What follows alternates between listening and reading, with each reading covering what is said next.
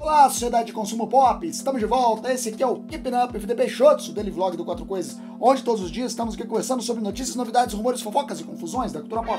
Sempre de olho no que é importante para você saber. Sou o Pablo Peixoto, youtuber que mais trabalha no Brasil, tá liberado almoçar. E vamos falar hoje de Pacificador. Hoje sem imagem vazada para não tomar strike. E vamos falar dessa imagem misteriosa postada por James Gunn. Quem é esse personagem? Quem é essa figura enigmática que aparece na postagem do CEO da DC Studios? Mas antes tem um recado para você, segura aí. Intermission. Esse vídeo é mais uma vez patrocinado pela Insider, que tem as camisas mais iradas e com a tecnologia de ponta para você que precisa de agilidade, para você que precisa estar tá sempre em cima do lance. Igual aqui no canal, às vezes eu tenho um vídeo para fazer. Meu Deus, tem que fazer um vídeo, corre, corre, corre. Camisa toda amarrotada. Ainda bem que tem Insider, porque não precisa passar e desamarrota no corpo. Insider é maravilhosa. Também calor, sol lá fora, uma luz na minha cara, quente pra burro. E a Insider, ó, sequinha o tempo todo, não deixa parecer aquelas pizzas debaixo do braço, aquelas manchas que começam a aparecer. Não, com Insider não tem isso super tranquilo de usar, uma camisa com tecido super leve, confortável e que você vai ter 15% de desconto aqui no Quatro Coisas. É só usar o meu cupom que está aqui embaixo. Quatro Coisas 15. Você tem 15% de desconto em sites que você vai aproveitar. Vou botar o um link aqui na descrição do vídeo e nele você vai clicar e já vai direto para o site da Insider. Vai usar o meu cupom e chablau! Nunca mais passará calor novamente. Use o meu cupom 4 coisas 15. 4 coisas 15, 4 coisas 15. Use o meu cupom. End of intermission. Muito obrigado, Insider, por vestir o 4 coisas e por trazer esses vídeos para os meus inscritos. Não esquece, o link está aqui embaixo. Bora falar de pacificador, porque o James Gunn ontem postou essa foto, postou uma imagem, dizendo assim: quem será que é esse? E com a hashtag pacificador, Peacemaker. Em outras palavras, é uma imagem da nova temporada de Peacemaker, da nova temporada de Pacificador. E essa imagem mostra um homem de costas, em frente de uma fogueira, contemplativo. Ele tem cabelos compridos, grisalhos, com tranças, uma braçadeira com algumas plumas, deixando ele com uma aparência muito nítida de ser um nativo americano. E ele tá ali na noite, toda aquela aura de mistério, e resta a pergunta: quem é essa figura? Imediatamente os fãs começaram a olhar lá no compêndio da DC, Enciclopédia DC Comics, personagens nativos americanos. Tem vários.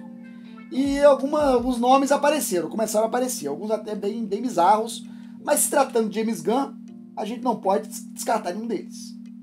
Falaram que poderia ser o Super Chef super chef, não é o cozinheiro, tá? Super chef, super chief. Falaram que podia ser o Condor Negro, né? Que tá sempre machucado, Condor. Poderia ser o, o, o, como é que é? o Man of Bats, que é uma espécie de Batman nativo americano. É um negócio absurdo. E também o chefe Apache, por que não?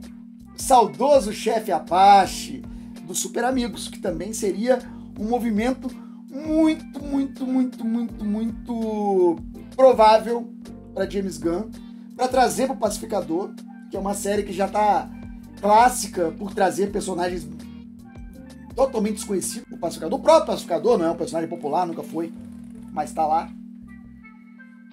Quem será? Quem será essa figura misteriosa? Eu vi gente falando até o Arqueiro Verde, que é o Oliver Queen, lá na, na, na ilha lá, é, abandonado na ilha lá, início da, da origem dele, contando a origem dele. Quem será o personagem misterioso? Eu tenho um palpite. Eu tenho um palpite que eu posso estar completamente errado. Tá? Aí você, volta aqui e fala assim, ô Fabrício, porra, por favor, né? Eu acho que é o pacificador. Eu acho que é o John Cena. Agora, aqui nesse canal agora nós vamos ficar fazendo análise de costas de homens fortes, né?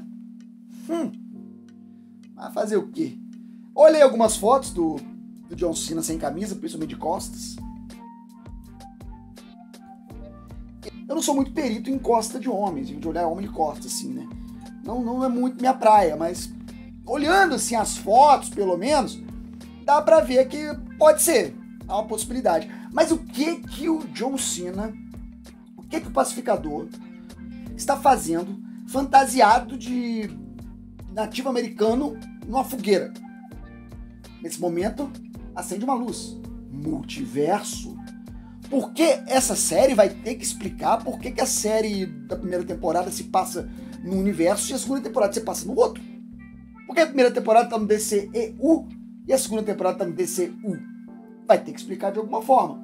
E pelas imagens vazadas, que eu Deus me livre colocar aqui de novo, a gente deu para perceber que existem variações, variantes, melhor dizendo, usando a palavra da concorrente, existem versões alternativas dos personagens.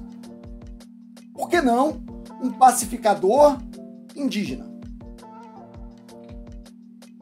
Agora, também há uma outra possibilidade mais simples, de ser simplesmente o pacificador fazendo coisas detestáveis que o pacificador faz. É o Capitão América babaca não é assim que o próprio John Cena descreve o personagem dele? É o Capitão América detestável?